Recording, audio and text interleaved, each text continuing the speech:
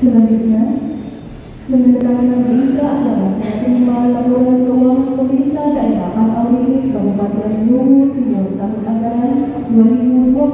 oleh Bupati Luwu Timur dan Kepala BPKI Perwakilan Provinsi Sulawesi Selatan yang diberikan dan penyerahan laporan keuangan pemerintah daerah Al-Awli Kabupaten Luwu Timur tahun anggaran 2021.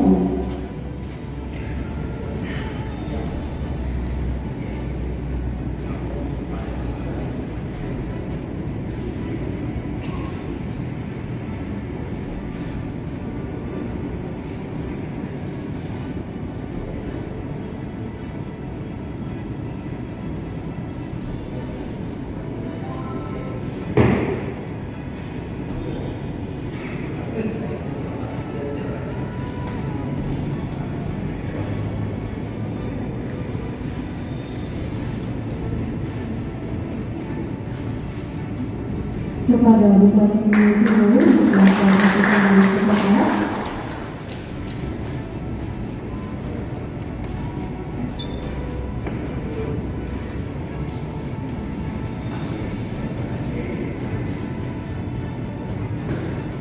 Selanjutnya,